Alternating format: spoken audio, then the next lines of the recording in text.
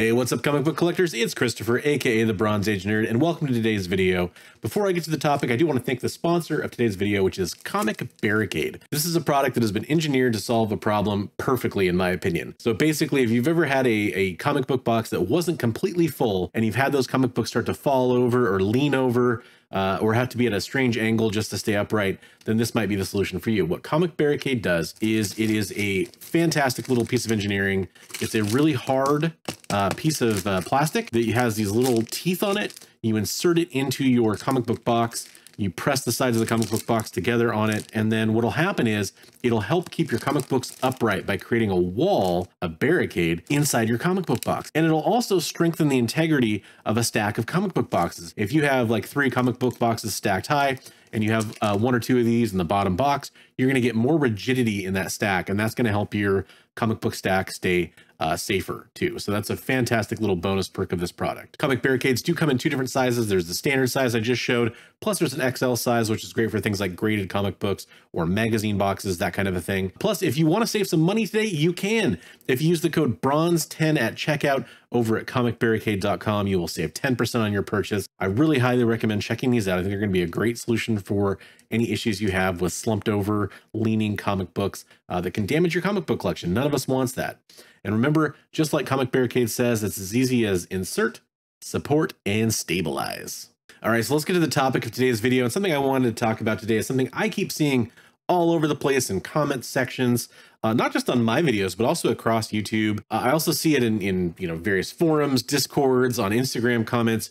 I see this kind of repetitive uh, comment about it's it's the 90s all over again. We're in the 90s again for comic book collecting or a comic book bubble. It's just like the 90s. I see that over and over and over again. And I want to unpack a little bit about what I think that means and why I don't really think that we are in the 90s again. We're in kind of a new thing. Let, us see what that means. So first, if you weren't alive in the 90s, what happened is there was a, a comic collecting bubble. It was a big deal. You had a lot of people pumping money into investing in comic books. And you're going to say to yourself, wait a minute, that sounds a little familiar. I'm not saying there aren't parallels to what's happening today, but it is a different phenomenon, in my opinion. So, what happened in the 90s? In the 90s, you had a lot of people buying up tons of copies of a comic book. But you have to remember, speculation was different in the 90s. So, what were people buying? Mostly, they were buying number ones. You saw books like X Men number one, uh, uh Spider Man number one, uh, X Force number one have these massive print runs because people were buying anywhere between two and a hundred copies of that book. People were buying short boxes of those books. And yes, that does still happen today, but it happens for different reasons. People are investing and speculating in comic books in a different way than they were in the 90s.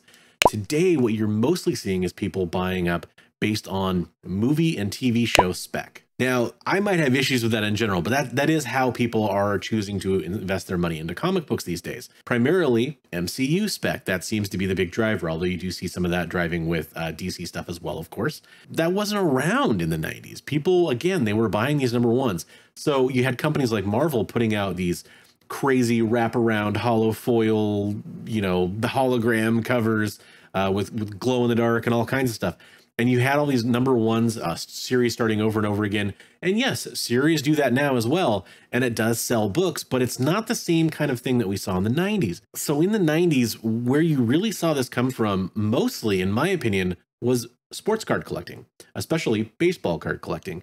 It was a huge deal. You had a lot of money being pumped into sports card collecting. And you also saw massive print runs there. And this created what is collectively known as the junk wax era of baseball cards. And it also resulted in a crash in the baseball card market. This seemingly kind of uh, followed, followed a parallel with comic books because comic book collectors were buying up tons and tons of copies. And what happened is they saw the baseball card market crash. Remember, in the 90s, most card stores uh, were also comic book stores, or vice versa. You saw a lot of crossover card and comic stores. It made sense. It was a natural kind of pairing, right? You know, they easily saw what was going on there. In fact, a lot of those people were the same. You know, they're they were buyers of both things, and they would see that you know, oh god, the the the card market's crashing, and it caused them to to get skittish. You also had Marvel going bankrupt. So a lot of the the engine that was going there, the the big powerhouse of investing, kind of all toppled down by the uh, kind of the mid to late 90s.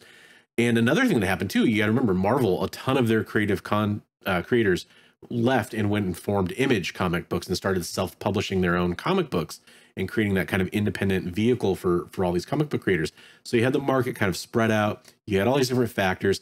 There's also some great videos that have been done about this topic. I'm not necessarily going to cover it in super big detail, but what I will say is to basically leave it at that was that was the circumstance that happened back in the 90s.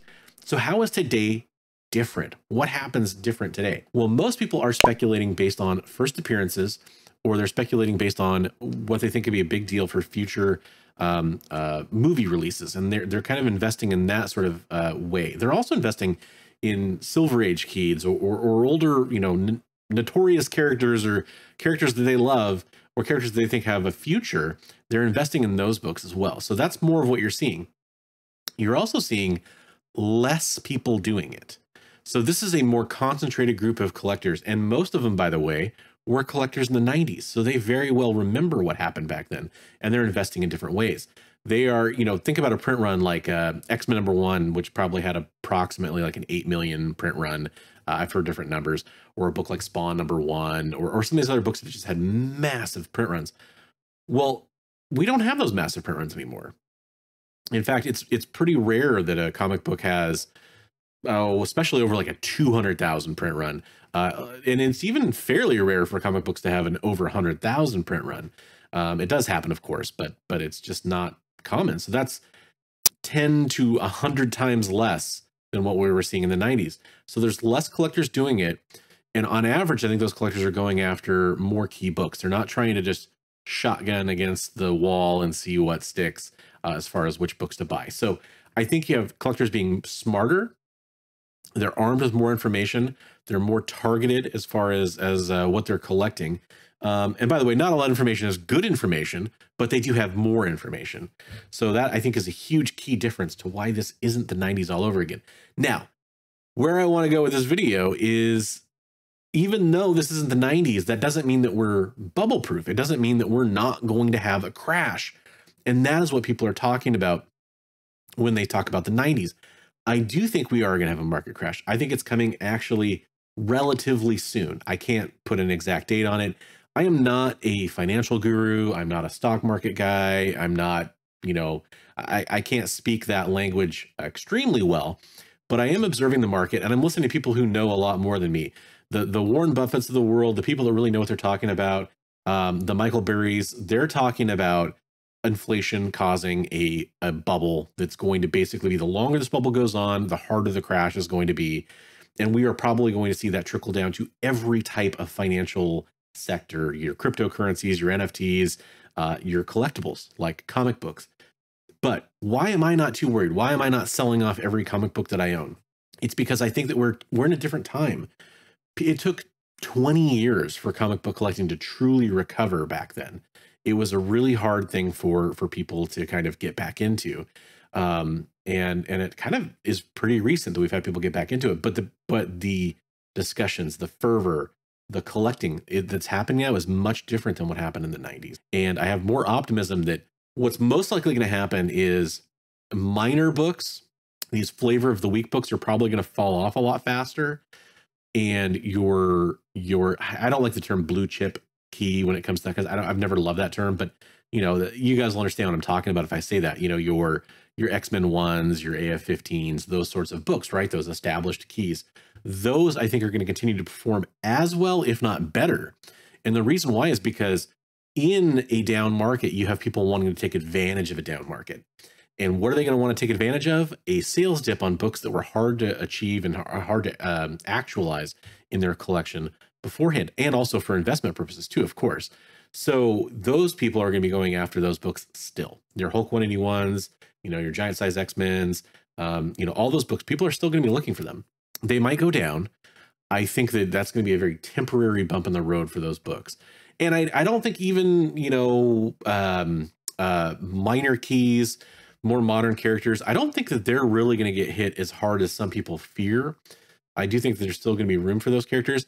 I think where you're really in trouble is your nothing book that's nine eight. You know, your your people are slabbing stuff like crazy.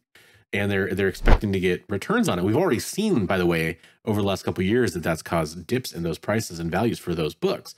And I think that's going to continue to be the case. If, if a book didn't matter, people aren't going to care about it. You're going to get nothing for those books. And uh, not just slabs, too, by the way. Raw books, the same thing. Like, you know, uh, uh, cover buys, those sorts of things. They're going to they're going to be affected by this a lot more than a truly valuable key. But I don't think it's going to be the end of comic book collecting. I don't think we're going to have a 20 year period where people aren't going after comic books. Those people are hooked and they're hooked in a different way than they were in the 90s. How do I know the 90s are different? Let me tell you one way I, the 90s were very different. My father, uh, great guy, he he loved collecting baseball cards. And he took me down to a comic book shop. He was not a comic book collector. He did not like Superman. He took me down to a comic book shop and waited in line with a line stretched around the, the comic book store and uh, outside waiting to get in to buy copies of Superman 75, The Death of Superman. No one's doing that today. No one's running out to buy a book like that in the same way that they did back then. The non collectors aren't putting their money into the market. Um, you're not having that kind of uh, almost that crazy inflation of comic book um, uh, collecting in that way. There are certainly some some ways that could be true, but it's not the same thing. It's not civilians, people off the street, whatever you want to call them. They're not running into a comic book store to buy uh, something is killing our children 24 or whatever uh, because they hear something as big is going to happen in it.